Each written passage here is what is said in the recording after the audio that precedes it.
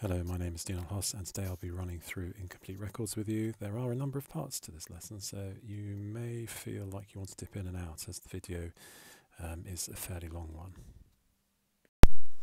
So often uh, an accountant is faced with um, a situation where someone who is a non-professional has completed the accounts in an incomplete manner and as such they have to act as investigator to try and find or piece together the missing information.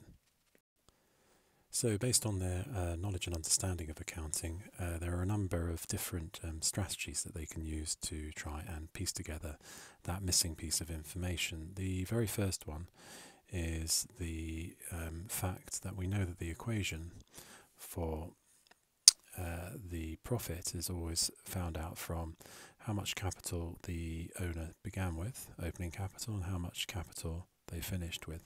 This actually is one of the most uh, important parts of um, information because what you could always ask the uh, business owner or owners is how much did you invest and how much did you have at the end of the year? And by taking away the opening capital from the closing capital, you would assume uh, the difference is either the profit or the loss. So let's say, for example, um, we started with um, an investment of $10,000.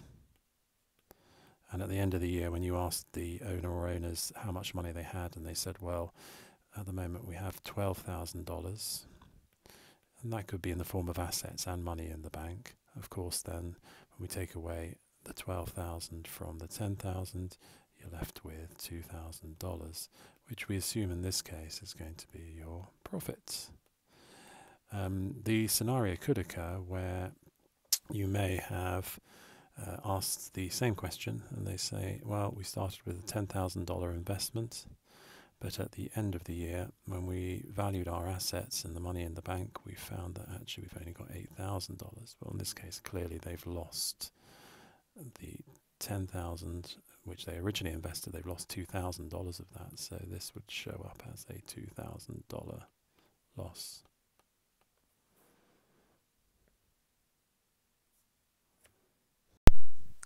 The second part of uh, the incomplete records um, that can be drawn up to try and find missing information is known as a statement of affairs. Now, this often causes students a lot of confusions. Basically, a statement of affairs is an incomplete balance sheet. So what would an incomplete balance sheet look like? Well, as you suspect, it will look like a normal balance sheet. The only difference is that we use it to find the capital at the bottom of the balance sheet or the second part of the balance sheet. So I'm going to draw a very simple one here for you um, with minimal information just to show you what I mean. So the first thing to note is that we would not call it a balance sheet because it's incomplete. We would call it just simply a statement of affairs. And again, that would be as at, it's a moment in time, and then whatever the date might be. Okay. Um, and then again, we would have our non-current assets. And then from that, we would have our current assets, let's say, for example. And we minus from that our current liabilities to give us our working capital. And that would be the top half, essentially, of our balance sheet, as we'd call it, but in this case it's a statement of affairs. So let's just create some numbers here. Let's say that the value of the assets were $100,000 and the value of the current assets were $8,000 and the value of the current liabilities, let's say for argument's sake, were $3,000. Obviously that would be minus from that figure and you'd have a total then on the top half of your balance sheet of 100,000 plus the 8 minus the 3 which would give us 105,000. Now normally what you would do then is you would if you were operating and calculating as a sole trader the balance sheet would be financed by and you would fill in the opening capital here plus any profit minus any drawings except Unfortunately, we don't know that information because it's incomplete. So what we do is to work out the new capital, which would be given by this calculation here, opening capital plus profit minus drawings, we simply assume that the top half is correct. And we can't check that because normally you would check this bottom half here using that formula. And if it balances with the top half, you know you've done the balance sheet correct. So because we can't do that, we call it a statement of affairs, and we simply assume that this $105,000 is the correct new capital, and we then put that into our accounts for next year.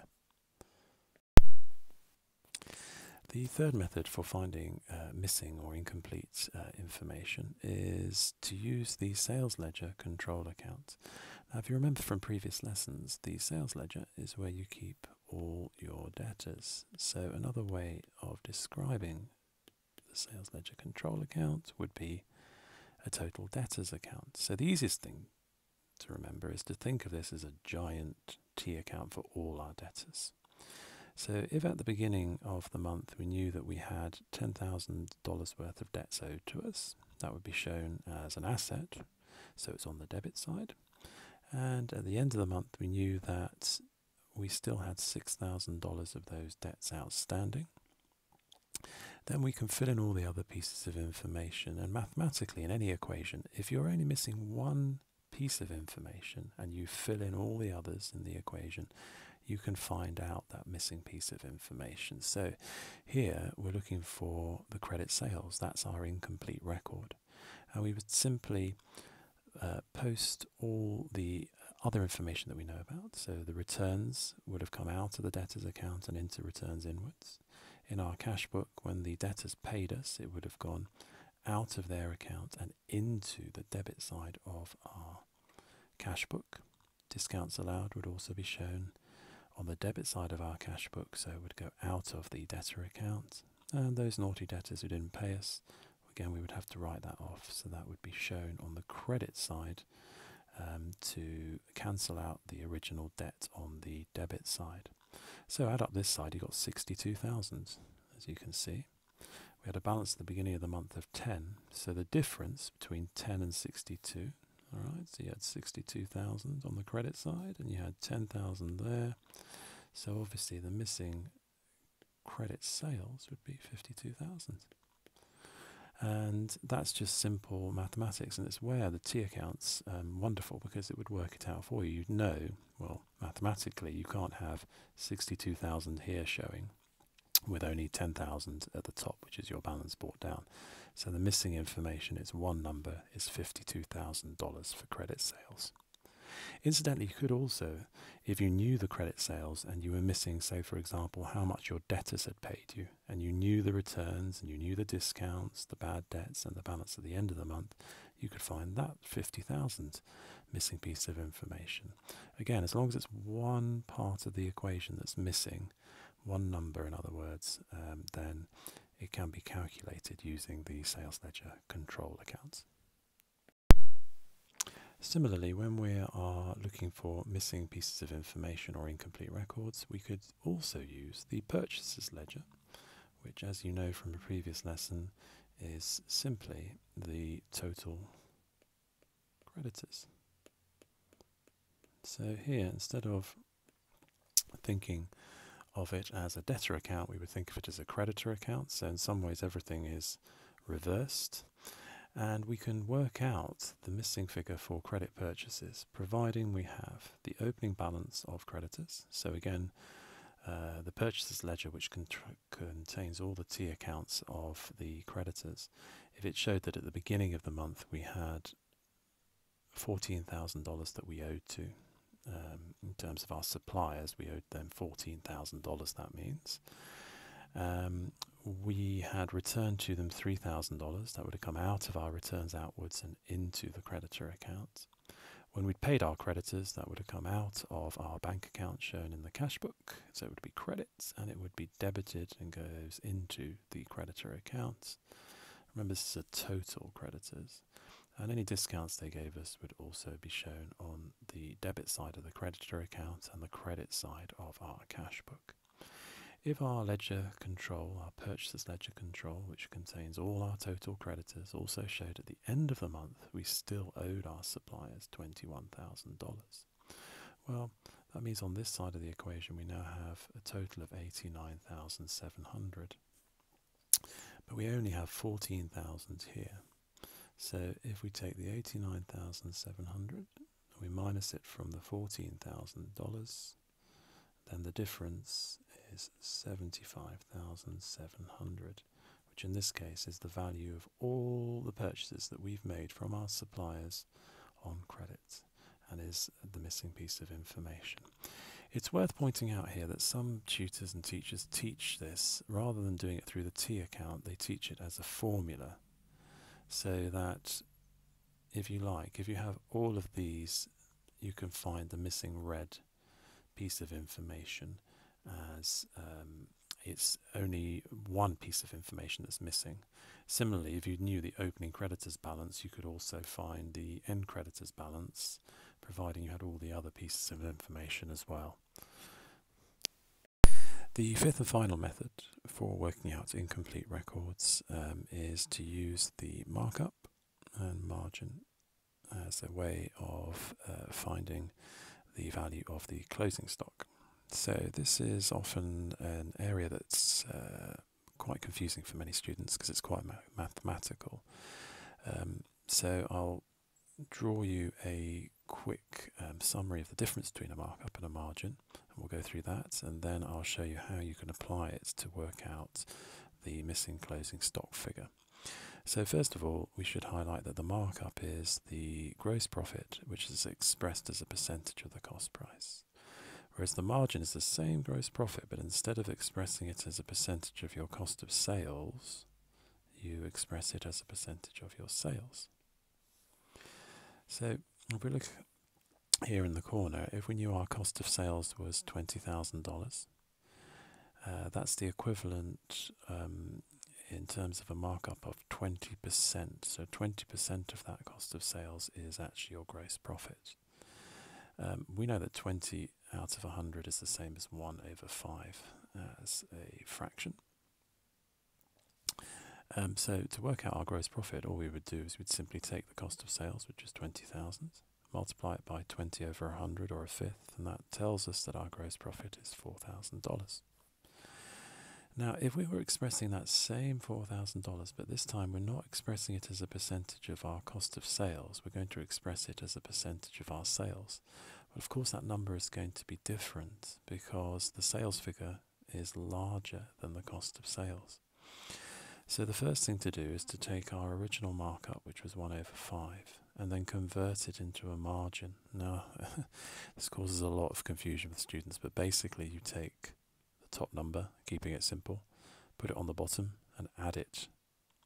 So if we know our markup is one fifth, we go 1 over 5, we take the top number, put it on the bottom and add it, so it becomes 1 over 5 plus 1, which is a sixth. So that has now allowed us to convert what the markup percentage is into a margin.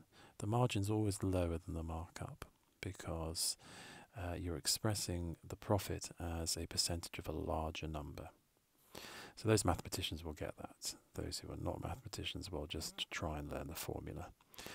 Um, so now we know that the margin is a sixth. So if we knew the sales was 24,000, margin is the gross profit of 4,000, but it's expressed as a percentage now of the 24,000, the sales, not the cost of sales. Uh, so 24,000 multiplied by 1 over 6, which is the margin, gives us the same gross profit figure of $4,000. So based on our ability to convert a markup to a margin, we can use that information to calculate uh, the missing or incomplete record of closing stock. So often in an exam, uh, there'll be a theft or a fire, and your job as an accountant is to work out what the value of the closing stock that was lost as a result of that theft or fire. Now, contrary to what we've been discussing previously in this video, uh, there are actually two pieces of information missing here, your cost of sales and your gross profit. Um, so we know mathematically in an equation uh, it would be impossible to know the difference or the division between the gross profit and cost of sales, except, of course, we previously learned that we can convert a markup into a margin. Now, if you remember, the markup is the percentage of gross profit expressed um, in terms of the cost of sales, and we don't know the cost of sales, so that would pose us a, pro- pose us a problem. But we do know how to convert a markup into a margin, and we know the value of the sales. So, providing we can convert the markup into a margin, we can work out the value of our gross profits. So, just to refresh, um, we would take our markup value, which would be given to us in the question of 20%, expressed as a fraction, that's 1 over 5. We would convert it into the margin to enable us to work out the gross profit in terms or expressed as a percentage of sales. So take that markup of one fifth, convert it into a margin. We simply take the 1 over 5. We take the top number and we add it to the bottom, which is going to give us 1 over 6. So now we know the margin. We can work out the gross profit as a percentage of this sales figure, which is 24,000. We simply, to work out our gross profit, we would take the sales now that we are given in the question of $24,000. We would then multiply that by the margin, which is a sixth, and that would therefore give us a gross profit of $4,000. So if you like, we've uh, worked out one of the two pieces of missing information. So we now know that's $4,000. Therefore, we can also deduce that if our sales were 24 and we are left with $4,000 after we take away our cost of sales, then clearly our cost of sales must be, you guessed it, $20,000. Okay. So now we can work out our closing stock because if we started with $5,000, we purchased another 20,000, then in total, during at the beginning of the year and during the year, we must have had a value of $25,000 in stock.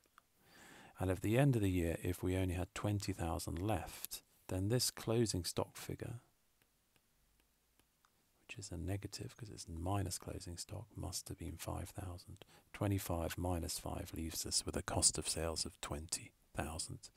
So there we have now worked out the value of the closing stock that's been lost as a result of a theft uh, or even a fire.